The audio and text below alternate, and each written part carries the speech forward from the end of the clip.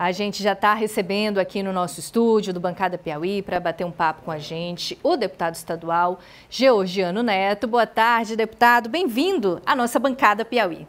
Boa tarde, Sayuri. Boa tarde, Sheldon. Boa tarde a todos que nos assistem aqui através do Bancada Piauí.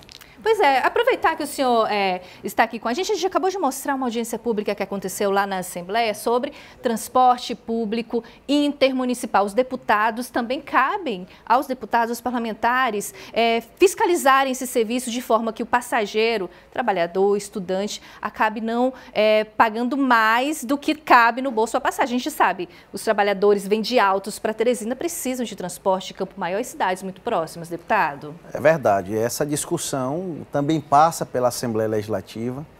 Todas as pautas importantes do nosso Estado, a Assembleia Legislativa tem, tem dialogado, tem escutado a população, tem tomado as, as melhores decisões em favor do povo do Piauí.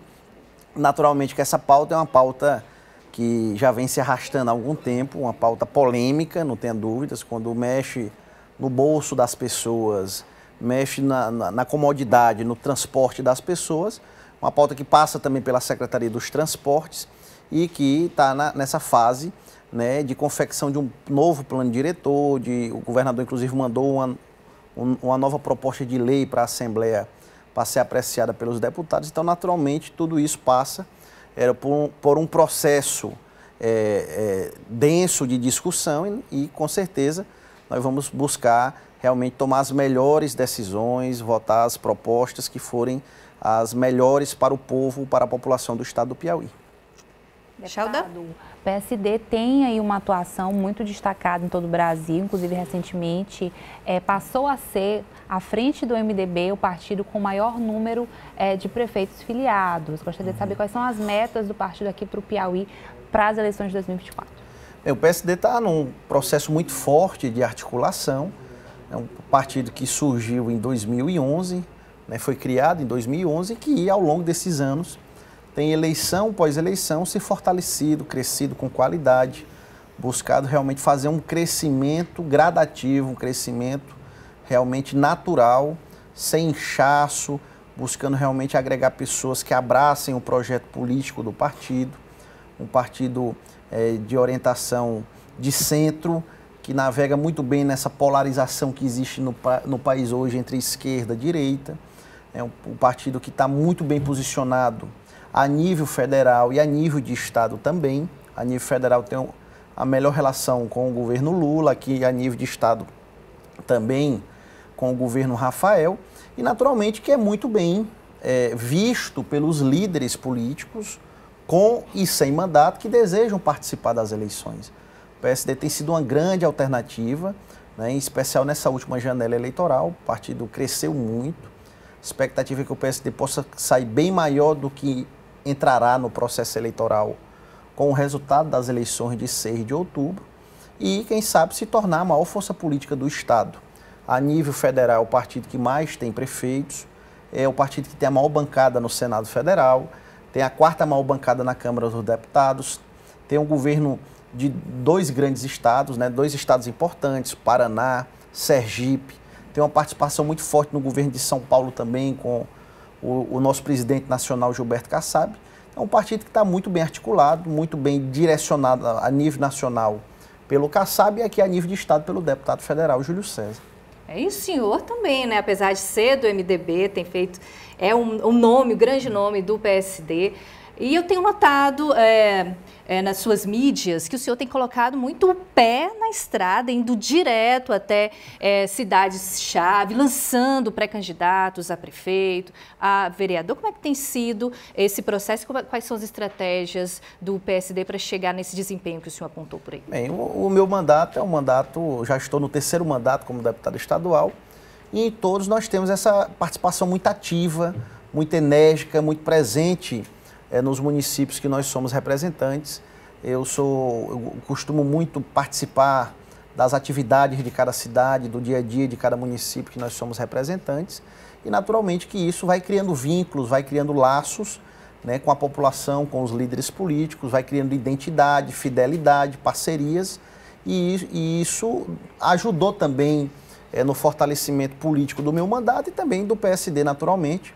Eu estou filiado ao MDB, mas é público e notório as fortes relações que eu tenho com o PSD. O PSD é onde eu me fiz politicamente. Estou no MDB por uma conjuntura política da eleição de 2022, mas temos as melhores relações nos dois partidos e, naturalmente, que andar faz parte né, do exercício do meu mandato, essa presença marcante nos municípios. Esse final de semana mesmo, do dia 26 ao dia 1 nós vamos andar em 19 cidades, uma agenda muito forte, muito intensa, uma agenda mostrando resultados, fazendo atividades é, do nosso mandato, atividades políticas também, conciliando essa agenda administrativa e política. Deputado, a situação de Teresina, né? A gente está no momento de pré-campanha e nota-se um acirramento muito grande entre os candidatos, os nomes que estão postos já nesse momento. Como é que o senhor tem se posicionado em relação a isso? Qual é o seu posicionamento enquanto líder né, estadual, mas que também tem é, uma liderança dentro da cidade? Olha, aqui em Teresina nós estamos ao lado do pré-candidato Fábio Novo. Fábio é um, um líder que tem tido uma capacidade de diálogo, de trabalho, de articulação, que tem surpreendido a toda, toda a população de Teresina, a toda a classe política, não só da capital do estado como um todo. É uma pessoa que realmente tem, tem avançado muito, ah, nós estamos muito confiantes, muito animados com o trabalho que o Fábio, junto com o Paulo Márcio, tem feito ao lado de todo o time de pré-candidatos a vereadores, esse time que é coordenado pelo governador Rafael e também com a participação da bancada federal, do presidente Lula. Então, nós estamos muito otimistas, muito confiantes que essa receita que tem dado certo no estado do Piauí, nós temos hoje o governador mais bem avaliado do país, a gestão que mais entrega resultados, a gestão que mais faz o estado, o seu estado avançar, que é no Piauí. A gente acredita que essa receita também vai fazer com que nós possamos restaurar a Teresina. Né? Na verdade, Teresina passou por um processo de desmobilização, eu tenho usado esse termo, ao longo desses últimos quatro anos. Nós temos tido inúmeras perdas e nós não podemos mais cometer o erro de continuar andando para trás. Né? Teresina precisa realmente de um grupo político forte, um grupo político que tenha capacidade de alocar os recursos, que, que tenha capacidade política de, de realmente conseguir fazer com que Teresina possa dar passos largos para frente, volte a se desenvolver, volte a avançar. Né? Então a gente acredita que esse alinhamento com o Fábio na prefeitura, Rafael governador, Lula presidente, é o que nós temos realmente de mais forte para poder atender às necessidades do povo de Teresina. E agora falando um pouquinho sobre a Câmara Municipal de Teresina, como é que tem sido a articulação para aumentar o número de representantes do PSD lá na casa? Olha, o PSD em 2020 elegeu dois vereadores. A nossa expectativa é de eleger de três a quatro nestas eleições. O partido fechou a chapa proporcional com, com grandes nomes, o partido a nível municipal coordenado pelo vereador Vinícius Ferreira e que nós temos plena confiança é, de que nós vamos ampliar a bancada que tínhamos é, comparada à eleição passada. Nós temos grandes nomes disputando, então uma chapa que garante competitividade a, a, aos nomes que estão na, na chapa proporcional. Eu acredito que todo mundo vai competir em pé de igualdade, buscando realmente uma das três ou quatro vagas. Tá certo. Sheldon, antes de você fazer sua pergunta, quero pedir para o pessoal de casa mandar também participar aqui da nossa entrevista. Tem questionamento para o nosso entrevistado? 3217-2900. Está chegando muita mensagem, viu? Mensagem, tem gente lá de Floriano, Edmilson do Pontal está mandando um abraço para o seu e tem outras daqui a pouco eu leio mais. Mas se você tiver pergunta, manda que o deputado responde. Sheldon. Então a gente vai exibir daqui a pouquinho na bancada Piauí é, uma reportagem sobre esse litígio entre o Piauí e Ceará.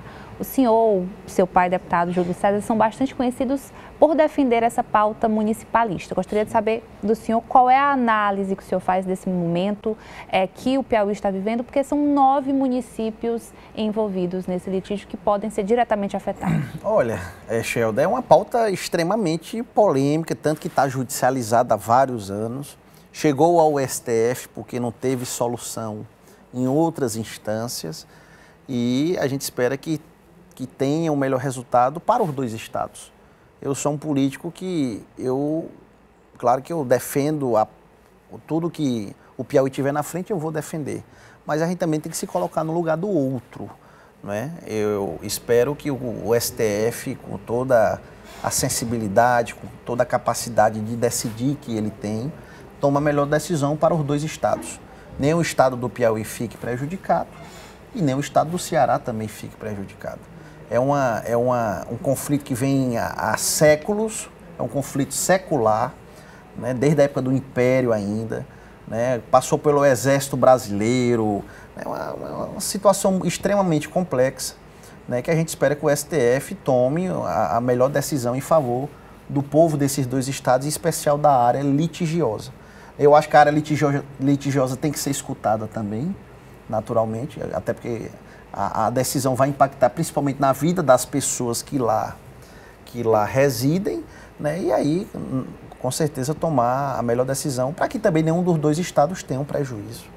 Deputado, vamos voltar um pouquinho a falar sobre política, continuar falando sobre política. O senhor mostrava, falava do alinhamento entre o PSD e o PT aqui em Teresina, no palanque de Fábio Novo, mas tem cidades, cidades grandes, cidades-chave do Estado, que tem ali um grande colégio eleitoral, em que o PSD é, pode estar em palanques diferentes, apoiando outros candidatos. Vamos começar falando sobre Parnaíba? A gente tem uma grande audiência lá em Parnaíba. Por lá, PSD tem candidato, é o ex-prefeito José Hamilton. Lá em Parnaíba, o PSD tem um grande nome filiado ao seu, ao nossos, aos quadros do partido, que é o do ex-prefeito Zé Hamilton. Foi três vezes prefeito, deputado estadual, é atual suplente de senador. Tem uma história de serviço prestado a Parnaíba, ao nosso estado. E a gente acredita que com toda a experiência que ele tem, com toda a capacidade de diálogo, com toda a sua sensibilidade adquirida ao longo dos anos, ele tem as condições de realmente é, poder governar Parnaíba, fazer com que Parnaíba possa ser essa cidade que avance, que se desenvolva, essa cidade que tem um potencial muito grande e que realmente o, Zé Hamilton, pelas pesquisas eleitorais, inclusive ontem foi publicado mais uma pesquisa, o Zé Hamilton lidera nas intenções de voto, tem a, a, a grande simpatia é, do eleitor parnaibano e conta com o nosso apoio, com o apoio do PSD a nível de Estado e nós estaremos no palanque do Zé Hamilton em Parnaíba. Mas Rafael apoia doutor Hélio. Como é que fica essa questão para o Olha, essa, essa pauta é uma pauta superada já, já dialogamos com o governador desde abril do ano passado. O governador liberou os partidos da base, incluído o PSD, para adotar as melhores estratégias para poder é, participar das eleições deste ano. Naturalmente que cada cidade tem a sua conjuntura política, as suas circunstâncias, e em Parnaíba, o PSD terá uma pré-candidatura própria com o nome do Zé Hamilton. Passada a eleição municipal, nós somos um time só. Esse time vai trabalhar 2026 liderado pelo governador Rafael. Ou seja, irreversível. Olha, essa decisão da pré-candidatura, é, o diretório municipal do PSD de Parnaíba tem toda a autonomia para poder tomar decisões que forem é, mais convenientes para o partido lá no município partido optou por uma candidatura própria, o PSD apoiará a decisão do Diretório Municipal. Piripiri, né, o PSD. Com Luiz Menezes, Luiz Menezes. Floriano com Antônio Reis, que vai para a reeleição. Lá em Ueiras com Zé Alberto, que é o pré-candidato a prefeito, apoiado pelo atual prefeito Zé Raimundo. Em Barras com Edilson Capote, que vai para a reeleição. Apenas citando aí cidades é, é, chaves que o PSD é, disputará é, em pé de igualdade, com muita competitividade e com amplas chances de vencer as eleições. Temos aqui é, mensagens para o senhor. O Edmilson do Pontal estava realmente falando né, do nome do pré-candidato é, por lá, o prefeito Antônio Reis. Tem aqui o pré-candidato a prefeito de Parnaíba, que está mandando um abraço para o senhor. Doutor Thales Marcos, é isso? É de Beneditinos. Né? Ah, des desculpa, Beneditino, Beneditinos, desculpa. Thales é um grande líder e será eleito prefeito lá também. Tá certo. E temos também mais aqui um abraço para o senhor Heraldo Rodrigues, presidente do bairro Buenos Aires. É. Tá mandando dizendo que tem uma ah, grande admiração pelo senhor. Um abraço, Heraldo. Obrigado. Pois aí é, também tem aqui uma mensagem falando justamente sobre esse momento é, que uh, uma, uma, reflexão, na verdade, que a nossa telespectador, o nosso telespectador fez, o Carlos, que é um momento é, de pré-campanha em nível estadual, mas que os deputados continuam trabalhando e cumprindo a agenda parlamentar. O senhor mesmo falava sobre isso, né? É, teve inauguração, inaugurações importantes em Campo Maior, assinatura de ordem de serviço, inclusive. Ah, com certeza. A eleição está se aproximando, mas nós não podemos deixar o exercício parlamentar, essa boa relação que existe entre legislativo e executivo, a gente sempre participando das agendas administrativas do governador Rafael, entrega de obras, anúncio de novos investimentos, a, a, a, anúncio também de programas importantes para a população do Estado e também acompanhando a pauta legislativa na Assembleia também. Como é que fica a expectativa para o segundo semestre do funcionamento da Assembleia? Olha, não haverá prejuízos. É, essa questão de eleição, a gente sabe que tem de dois em dois anos. Nunca houve prejuízo à população do estado do Piauí. Sempre há esforços concentrados para limpar a pauta, votar os projetos que são importantes para o nosso estado. E nós vamos seguir da mesma forma que foi feito em 22, em 20, 2018 e assim por diante. Mais algum questionamento, Shelda? Deputada, a gente sabe que o deputado Júlio César, o senhor também tem uma interlocução muito boa com o governo federal. O que, é que o senhor pode adiantar para a gente que está sendo articulado em Brasília para o Piauí? Olha, é o anúncio de, de, importantes investimentos. Nós tivemos aí o PAC agora, é, com o anúncio de investimentos em diversos municípios do nosso estado. Também o Minha Casa Minha Vida aí, com anúncio de quase 4 mil unidades habitacionais para o estado do Piauí. Além da alocação de recursos também da bancada federal, de OGU, recursos de emendas parlamentares também. Então, assim, o Piauí está muito bem posicionado é, no Congresso Nacional, tem grandes representantes na bancada federal, tanto no Senado quanto na Câmara dos Deputados. O governador Rafael tem tido um papel muito ativo em Brasília, quase semanalmente está em Brasília, em audiências com ministros, com o presidente Lula, com, com parlamentares também.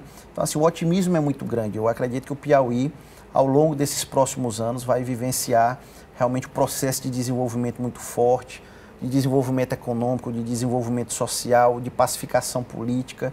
Nós vamos viver realmente um processo é, que o Piauí vai avançar muito e, que, e quem ganha isso é a população do nosso estado, as pessoas que mais precisam, os municípios que nós somos representantes. Deputado, obrigada pela sua presença aqui na bancada. Falamos sobre vários assuntos, portas abertas sempre. Eu que agradeço, um prazer muito grande aqui retornar à TV Antena 10. Até a próxima. Obrigado.